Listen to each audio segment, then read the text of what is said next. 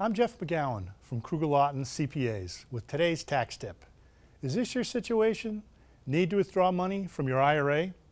If you are under the age 59 and a half and you need cash, withdrawing money from your traditional IRA is a tempting solution. However, the tax results can be very unfavorable. First, your withdrawals are taxable. The federal tax rate could be as high as 35%. You likely will owe state income taxes as well. As you are under age 59 and a half, you may also owe a 10% federal penalty tax on top of the income taxes.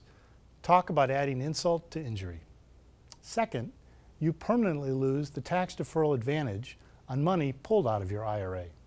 Fortunately, there are several exceptions to the 10% penalty.